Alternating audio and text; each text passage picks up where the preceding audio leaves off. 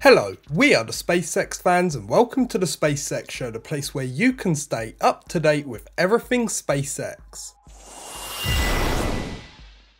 Starting off, all the members of the Crew 3 mission have now been selected.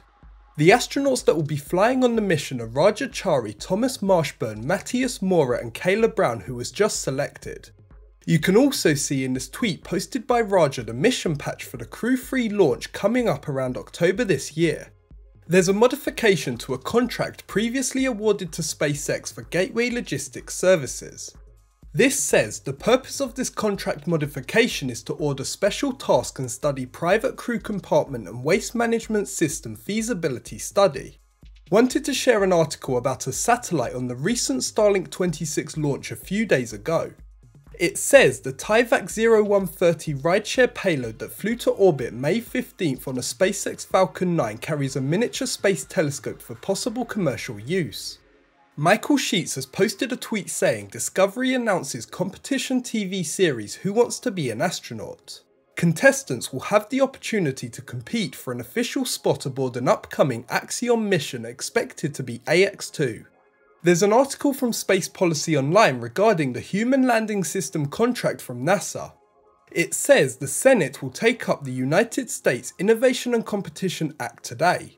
It incorporates the 2021 NASA Authorization Act approved by the Senate Commerce Committee last week, but one of the most controversial provisions was modified and now provides a level of protection for the contract awarded to SpaceX for the Artemis program's human landing system. It also extends the deadline for NASA to comply with a requirement that it choose a second HLS contractor. Over in Boca Chica, SpaceX have shifted their focus towards orbital infrastructure as they look to do an orbital flight this year. Here's the orbital launch site tank farm. There's a new crane being put together at the launch site that is progressing.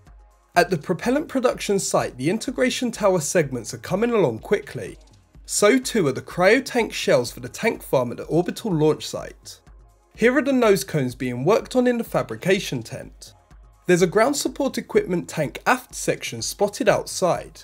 The stacked GSE-3 tank is still waiting to be moved to the launch site. A Raptor vacuum test bulkhead was spotted outside waiting to be sleeved. It has since been sleeved with a scrap ring stack as a Pathfinder section. After being placed onto suborbital pad B, SN15 is being inspected for a possible reflight. Starship serial number 20's upper bulkhead was captured sitting outside. Brendan Lewis has posted a cool diagram of prototypes that underwent testing through 2020 and 2021. It's crazy to see actually how much testing has been performed in just a span of two years.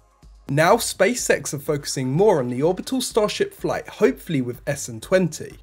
As always, thanks to Mary or Boca Chica Girl who is out in Boca Chica all the time filming the amazing content. Also, thanks to the NASA spaceflight team working behind the scenes on their videos, live streams and other space content. That's it for this episode of the SpaceX Show, I hope you enjoyed the video, if you did make sure to hit the like button and leave a comment down below. If you want to stay updated with SpaceX info make sure to subscribe and press the bell icon to get notified when I upload. Thanks for watching and have a great day.